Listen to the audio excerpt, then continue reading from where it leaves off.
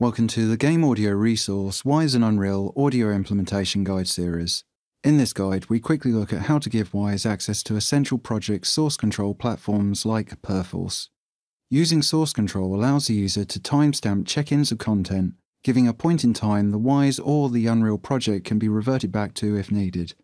For those of you that are working remotely or with an internal team, you will no doubt be using a central project manager of global game content updates, submitted by every team member daily. Most common in a professional environment is Perforce Helix P4V. Wwise has a feature that allows Wwise to communicate directly with Perforce. Helix Core is available for free for teams up to five people. If you wish to investigate it further and try yourself source control management via Perforce, please see the link in the description. First we install Perforce. Then we set up connection details of Perforce in Wwise. You will need to install the correct Perforce software.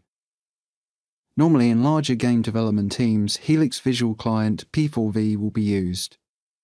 Once the version of Perforce is installed, the team you are working with will give you details and address IDs to connect Perforce to.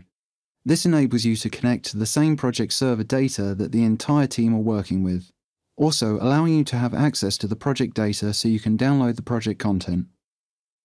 Once Perforce is set up and working, open Wwise. In the Wwise toolbar, navigate to Project, Project Settings, Generals tab, and then Workgroup.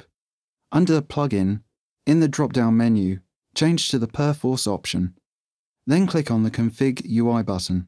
In the new window, input the Connect to Server Details ID addresses the team you have worked with have passed you. Then click OK to confirm the details.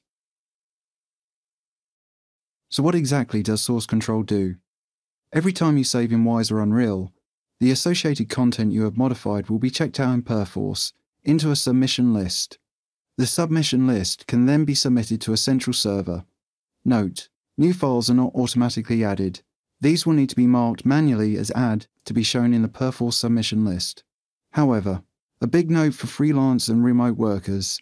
If you're remote working to a central server, it is advisable not to enable this setting. Connection times to a central server when saving Wwise can take a while to process. In other words, it can hugely slow down your workflow speed. If you're working internally or at the same location as a server, then the process speed is extremely quick and absolutely recommended to be enabled. For further notes of what to check in or to submit via Perforce, please see our associated written guide of this chapter for further details on our website.